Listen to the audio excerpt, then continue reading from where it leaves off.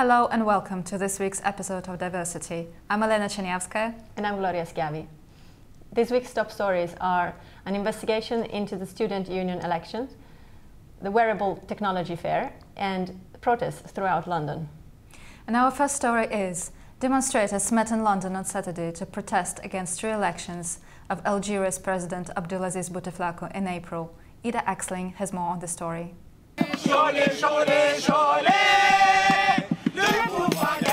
There was singing and chanting when Algerian protesters gathered outside the country's consulate in London.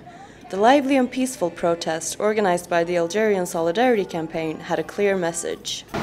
We call for a total boycott of these shameful and fraudulent elections, which are clearly already closed, and whose results will not be decided by the Algerian people, but the dark boxes and shadows of this Algerian regime.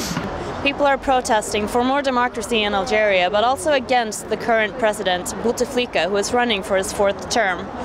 Despite him being ill, he is anticipated to be the winner in this April's elections. 77-year-old President Bouteflika's regime has been in power for 15 years. Protesters and opposition leaders say he is physically and mentally unfit to govern, and that the country is more and more ruled by a military elite. In recent weeks, protests have been organized by the Barakat Youth Movement and marches have taken place across the country. International NGOs say that the police have actively tried to keep people out of the streets. There has been many, many arrests, hundreds and hundreds of arrests for women, old people and uh, young men. So there is no freedom of election of um, expression. Sorry, I'm really excited these elections, the upcoming elections, the presidential elections, is just another example of how the regime is trying to keep the status quo, how the regime is closing down uh, spaces for freedom of expression. Neighboring countries Tunisia and Libya have been affected by uprisings, but Algeria hasn't been a part of the Arab Spring. A conflict 25 years ago led to a civil war that killed more than 150,000 people in the 1990s. This is one of the reasons why many Algerians today are afraid of political instability. What you see in Syria has already be, been uh, produced in Algeria in the 90s, and maybe this has affected a little bit the uh, population that they will see another time this nightmare. Ida Axling, London. Have you been missing out on Japanese music? Yeah, why? Well, our entertainment correspondent Kelly Monahan knows why. The Irish beer company Guinness withdrew its sponsorship from the New York City St. Patrick's Day parade on Monday.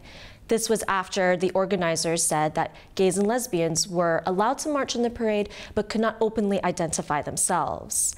Now, Guinness released a statement saying that they support diversity and advocate equality for all, and that they were disappointed in the organizers. This announcement came just days after Heineken also withdrew from the parade music sales have dropped dramatically in Japan, causing a global slump. The International Federation of the Phonographic Industry says there has been a 17% decline in Japanese music consumption. This is dramatic, as Japan is the world's second largest consumer of music. But it's not all bad news for the industry. In Europe, music sales saw its first increase in over 13 years the Rolling Stones had to postpone their Australia and New Zealand tour after the unexpected news of Mick Jagger's girlfriend's death, L'Wren Scott. She was found in her apartment on Monday morning after what looked to be an apparent suicide. Mick Jagger is heartbroken, and the Rolling Stones have apologized to their fans in New Zealand, Australia, saying that they appreciate their support during this difficult time. They plan to reschedule their tour as soon as possible. That's all for entertainment this week. Back to you guys feminist organization Stop Porn Culture held a conference in London on Saturday. Sex workers and sex activists gathered outside to protest. Pascal Davies has more on the story. You're still trying to put us women down when we're trying to think that when we're, in, when we're forward, when we're in control of our lives. Yes, you are. You're trying to put us down because we're, we're using our assets. What's your asset? My body. Sex workers and queers and immigrants together against moralist feminists. The cause of all this noise lies behind these doors, where right now a conference is taking place by the organisation Stop Porn Culture, and they are arguing that the porn industry is harmful to women. It doesn't just lead to violence against women, it actually is violence against women. So you can see with lots of the gonzo porn, lots of it now that's mainstream, that women are being raped and gagged and abused on the porn set.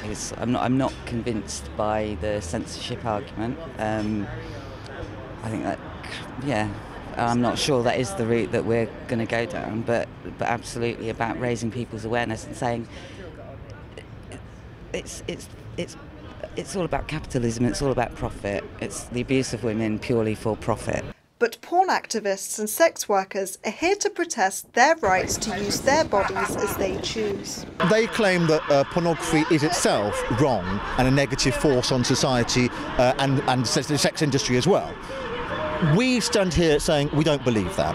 And they also believe that any woman who works in it uh, is a victim of patriarchy and misogyny and that they don't have a real choice to be doing what they're doing. They're just doing it because men have forced them into it. They are slaves, that pornography is itself rape. I'm a full-time male sex worker, and there is the impression that we're we're desperate. We're doing it because we, you know, it's a means to an end. That we need the money, and that we're exploited. Uh, the dynamics of the male sex industry is very different to the female side. Uh, the vast majority work completely independently. We don't work for agencies or pimps. And as a full, I'm a full-time male sex worker for nine years. I'm 55. I'm an award-winning escort and I absolutely love my job. David Cameron's war on porn began last year with a proxy, but sex activists are still continuing to put up a fight. Pascal Davies reporting from London.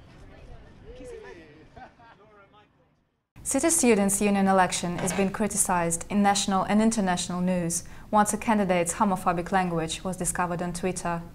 The candidate, Hassan Niazi, says there is more to the picture. Catherine Iorio went to investigate.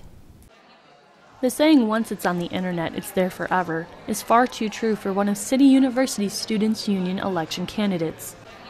Hassan Niazi, a postgraduate student in international human rights law, tweeted in February describing a male Pakistani cricket player as a faggot during his campaign. City's new independent media team, The Square, discovered the tweet and broke the story. This one feature created a surge of news coverage from the Evening Standard to The Guardian, then on to an international level with Pakistan's Newsweek publishing a feature. Just like that, Hassan's entire life was under a microscope, bringing his uncle into the picture, Pakistani politician and cricket player Imran Khan. Hassan claims this was a tactful smear campaign carried out by the Square, and he's the victim. First of all, if they have done a smear campaign, um, they were using university's premises, they were using university's wall, they were using the name of the university and according to the union in the response to the my complaint I sent to them they said it, it falls under the university's jurisdiction. And I believe um, if university can't do anything with them then I think the university's future rep re reputation is at stake. Because obviously any student will stand up any day start a smear campaign against anyone. But the university can't do anything about it. According to one university press officer, the Square is an independent media publication and not under the university's jurisdiction. The Square's editor, Scott Campbell, claims they were doing their jobs as journalists covering the truth. Um, I think that we reported uh, the facts. Uh, we reported exactly what he tweeted, and when he responded, we reported his exact response. Um, and therefore, I don't think it's defamatory because it's true. Uh, there's evidence of everything that we have reported. Uh, so, I mean, it's, it's definitely not defamatory, and it certainly wasn't malicious. With the elections over and the newly elected Students' Union president, Rima Amin, declared the winner, negativity has swept the campus. I feel like, even on campus now, I feel there's a very negative atmosphere that I haven't felt in the past, um, my, my, my past four years being here. I mean, for the past year since I've been VP activities, like I've always walked on campus and um, seen people smiling at me and stuff like that because of the work that I've done. Now it's all very negative and I think a lot of things need clarifying. While Hassan alleges the election process was unfair, the Students' Union released a statement that says, the process was both free and fair. The returning officer received one complaint following the election, which was not upheld. But for Hassan, more needs to be done. But the question is, what I'm expecting from the university and the union is just deal with the smear campaign against me and whatever the conclusion or the judgment they do, I'll accept it. Yes, the students who have done this within u- universities' laws, they should be prosecuted. I don't want this them to go to the court and you know the court settling out the issues. I don't want that to happen. In breaking news yesterday, however, British human rights campaigner Peter Tatchell urges the university to hold a re election, claiming that he has sympathy with Hassan's complaints over the alleged election procedures, which strikes him as irregular and unfair. For now, those who are involved are waiting to see what happens next. Will a suit be carried out, or will it be brushed under the rug? As the saying goes, time will tell. This has been Catherine Iorio reporting from London. Hey, don't go too far. Sarachi Rai, our sports correspondent, has the latest news. Beep, beep. Chelsea beat Galatasaray 2 0 at Stamford Bridge, becoming the first English team to proceed into the final eight of the Champions League. They have a tough weekend ahead as they face Arsenal in the epic London clash. The 2014 season kicked off in Australia with Nico Rosberg winning the inaugural race. However, the rookies outshone their more experienced peers, with world champions Lewis Hamilton and Sebastian Vettel failing to finish due to technical difficulties. After a lengthy winter break, MotoGP riders will converge on the desert circuit of Losail in Qatar. That's all from sports. It's back to you. Hundreds of activists marched through the streets of London to Downing Street on this Saturday to mark the third anniversary of the Syrian Revolution. They call on the international community to do more to help. Mary Afxendiu has this report. I'm Mary Afxendiu. We are here with Syrian activists marching to commemorate the third anniversary of the Syrian Revolution. Hundreds of people from the Syria Solidarity Movement demanded that British Prime Minister David Cameron allow more refugees into the UK and called for an end to the regime of Bashar al Assad. He should be stopped, and the UN should be doing something to stop. And the rebels are not like only the, the Free Syrian Army. They're all on the ground. They are normal people, just like you and me. They are just people like who just spoken and wanted uh, their voice to be heard. Some activists called on the international community to enforce a no-fly zone over Syria to prevent government air attacks. The EU should move on, um, like bypass the Russian veto and enforce a no-fly zone because people are mostly dying because of bombs, like barrel bombs and Scud missiles and so on. So no-flying zone, I think, is the only option we have to save lives now. Many British citizens came to express their support and solidarity with the people of Syria and moderate opposition groups. I'm here because I want to show Syrians that I care. Um, that's the main reason I'm here. I think the demonstration can possibly raise a bit more awareness about what's happening and hopefully put pressure on governments and other organisations to actually take action because I think there are things that governments and other organisations could be doing to help the situation. At number 10 Downing Street, five Syrian children delivered a petition urging the government to establish humanitarian corridors to besieged areas such as Aleppo and Homs. Okay, so there's a petition today that we're signing, um, and we've just delivered it to 10 Downing Street. It's to try and put some pressure to open some humanitarian corridors in Syria. So there are some areas in Syria that's under siege, and no water, food, anything is going into those regions. And so we're trying to open some of corridors to enter those areas to provide some aid and basic needs for the people living there. Simultaneous marches were held in Paris, Toulouse, Aleppo, Washington, and Rome. Mary Afxendiu reporting from London. If you don't have it, you must be dreaming of it. The latest technology that you can wear is an exhibit this week in London at the Wearable Technology Show. Alexandra De Bellis got her hands on the gadgets which only existed in sci fi films before. One of the hottest new events on the tech calendar is held today at the Olympus Centre in London, where the most prominent producers of wearable technology present their latest devices. The, the main focus, the main interest is all at the moment around your health and well-being. The latest fitness gadget is a small pod that you could wear under your wristband. It gives you notifications about your calls, your heart rate, and can be your GPS transmitter. You can talk Ant Plus to your sports electronics, and because they have, um, they can also talk to each other, so you can start to develop ecosystems of, of wearables. Messages of love, friendship, and special memories can now be locked into a beautiful piece of jewelry. Integrated chips into it that basically mean it connects to your mobile phone. So whoever sent you the card, whoever sent you the "I love you" message, you get it in glorious Technicolor with the silly, the silly picture or whatever it is. The intelligent handset follows your heart movements, projects them on the screen, and provides a revolutionary 3D sound. It is the world's first headset with dynamic 3D audio. When you're wearing the headset and they have, use an app used with the headset, when you hear a sound from, from this direction, when you turn your back to that sound, it will appear from the back. So you basically get this virtual reality uh, sound system around your headset. If you fancy taking a bath with your phone, H-Z-O has the answer with its water-block technology. It can be used to make an electronic device water resistant. Customers applied our technology for them to become, you know, from a splash resistant all the way to a swimmable. Now, if you are going to jump into the ocean, you can keep them in your pocket. Another trend is the digital eyewear. Style makes high technology in the Aura new product. It's a full Android system, so um, it's, it's really a standalone, uh, hands-free mobile computing platform. It's about three times the surface area of Google Glass, and it's brighter and it's higher resolution. Um, these lenses here, actually, they're not just for show, they're photochromic lenses.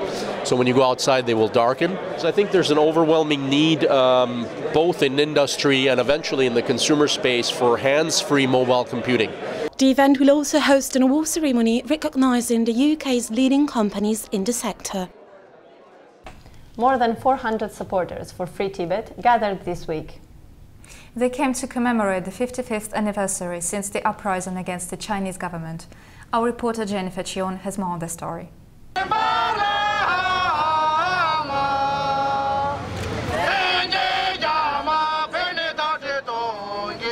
It's been more than 50 years since the Dalai Lama was forced into exile by the Chinese government.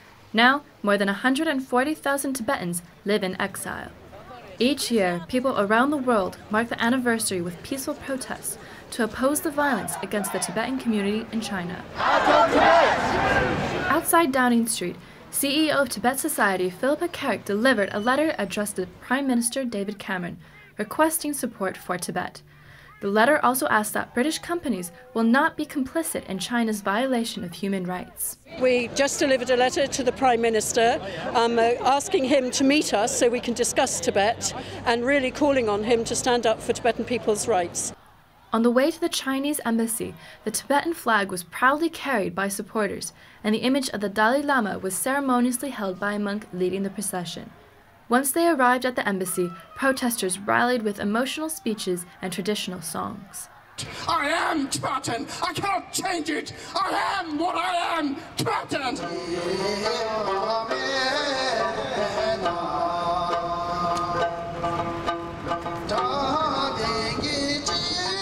People came to show their solidarity and express their hope for freedom in Tibet. We want to religious freedom, you know. This is very important. Freedom for the Tibetan people to be treated at least as equal to the Chinese who are in Tibet. I think demonstrating here and offering support gives us that one step further um, to you know makes people more aware of the issues in Tibet. Um, I always have a little bit of hope, but whether we will get independence is I'm not really 100% sure yet. The coalition of UK based Tibet groups have tried to reach out to the Chinese ambassador for a dialogue, but the Chinese embassy hasn't responded to their request yet. This has not discouraged Tibet supporters and have vowed to continue their protest against the government. Have you heard the craziest, wackiest stories this week? The most incredible and bizarre? The most incredible and bizarre. Our correspondent Mary Afxendiu has the most unusual stories this week. Parents usually tell their kids not to crack walnuts with their teeth because they might break. But what about breaking them with their heads? A martial arts expert has broken a world record by cracking 155 walnuts in just one minute. Mohammed Rashid set the new record at a youth festival in Pakistan. Here's the video. World records, lots of walnuts were broken at the Punjab Youth Festival in Pakistan. For this one, martial artist Mohammed Rashid used only his forehead to break open 155 walnuts in one minute. That beats the old record held by an American by an impressive 44 nuts. Live news programs carry their moments of crisis as well. A pair of anchors at KTLA TV had to hide under their desks as a 4.4 Richter earthquake hit Los Angeles. They tried to remain calm and followed the duck and cover procedure they've been taught at school. Ginger, thank you. Coming up, more problems for a troubled earthquake. singer. Yep, We're we having an earthquake.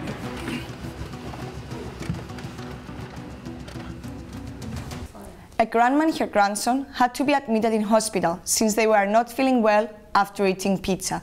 Mrs. Fairley said she was sweating and her heart was beating too fast after eating mushroom pizza. And her grandson had even weirded symptoms. He started talking crazy and ran out of the door naked.